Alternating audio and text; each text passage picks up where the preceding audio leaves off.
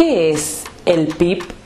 El Plan Institucional Participativo.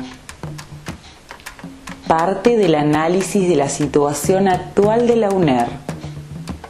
Recuperando la historia. Para mirar a futuro. Mirar a futuro. ¿Cómo lo hacemos?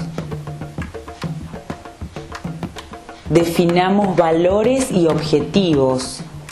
Identifiquemos y prioricemos problemas. Señalemos metas. Propongamos planes de acción. Evaluemos el proceso. Atendamos a las demandas del contexto una universidad pensada desde el territorio.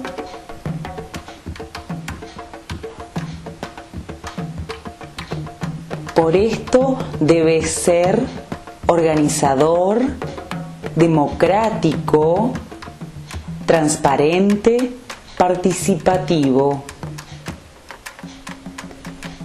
Este plan también es tuyo. Participa, involucrate, comprometete, aportá, opina.